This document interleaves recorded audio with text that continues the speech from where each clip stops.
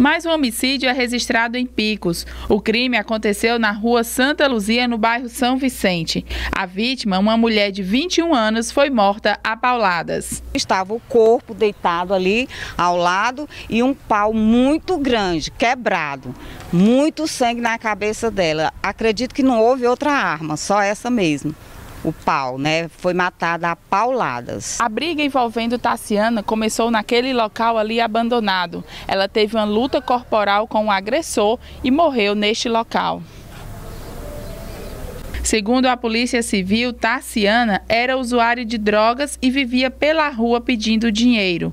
Ela é natural de Campos Sales, no Ceará, e a polícia ainda não conseguiu contato com a família. A Polícia Civil foi acionada por volta das 5 e meia da manhã acerca desse homicídio ali nas proximidades do Beco do Paraíba, ali no bairro Bomba.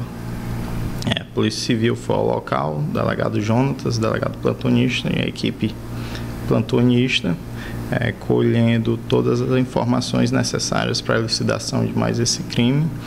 É, e aparentemente é, os indícios apontam uma discussão entre usuários de droga.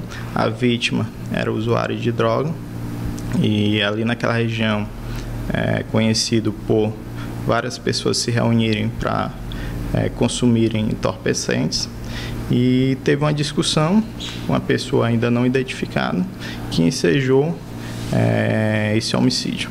Moradores do bairro se dizem viver na Cracolândia. A venda e consumo de drogas acontece normalmente. Nos sentimos muito ameaçados, porque aqui é olho nu, de manhã, de tarde, de noite, o percurso desses usuários para dentro dessa casa aí, né? Então, eh, se tivesse uma, uma, um policiamento, uma vigilância, mas a, eu moro há seis meses aqui, foi a primeira vez que houve um ocorrido de morte de mulher né? Mas ameaças e brigas ocorrem a toda hora aqui. Aqui é a Cracolândia de Picos.